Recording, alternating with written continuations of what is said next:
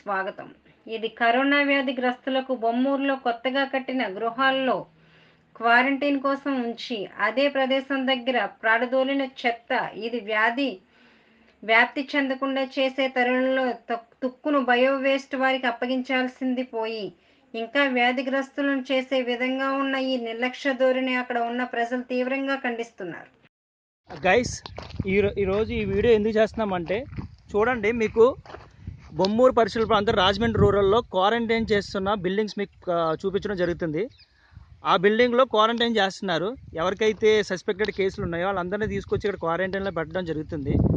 ఆ పెట్టిన తర్వాత అక్కడ ఏదైతే బయో బయోమెడికల్ వేస్టేజ్ ఏదైతే ఉంటుందో మాస్క్ కానీ తర్వాత వాళ్ళు వాడే మాస్కులు కానీ ఇవన్నీ కూడా బయో వేస్టేజ్ మెడికల్ వాళ్ళకి ఇవ్వాలి. ఏదైతే ప్లాంట్ ఉంటుందో ఆ ప్లాంట్కి పంపించాలి. కానీ అలా చేయకుండా అక్కడ ఉన్న వేస్టేజ్ అంతా బయో వేస్టేజ్ అంతా సిరంజెస్ ఇవన్నీ కూడా తీసుకొచ్చి రోడ్డు పక్కన ఏదైతే జనం వెళ్తూ ఉంటారో ఇలా వ్యామగిరి కడియం వ్యామగిరి గాయత్రి నగర్ రోడ్ ఏదైతే ఉందో ఆ రోడ్లో తీసుకొచ్చి పాడేయడం జరుగుతుంది.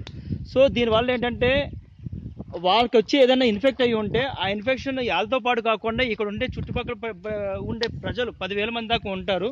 పది పదిహేను వేల మంది దాకా ఉంటారు గాయత్రి నగర్ రా- ఉంటారు. చూడండి మీకు వీడియోలో చూపిస్తున్నాము. ఒక కుక్కలు కూడా అక్కడ వాటిని తినడం జరుగుతుంది. మళ్ళీ ఆ కుక్కలు వెళ్ళి తర్వాత మళ్ళీ జనాల మధ్యలోకి వెళ్తాయి.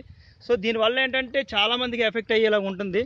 సో ఈ వీడియో అందరికీ షేర్ చేసి కన్స్యూమర్ డిపార్ట్మెంట్కి వెళ్ళేలాగా చూడమని అందరినీ కోరుచున్నాము గవర్నమెంట్ గవర్నమెంట్కి చేరుకునేలాగా ఈ వీడియో చూడాలని అందరినీ కోరుకుంటున్నాం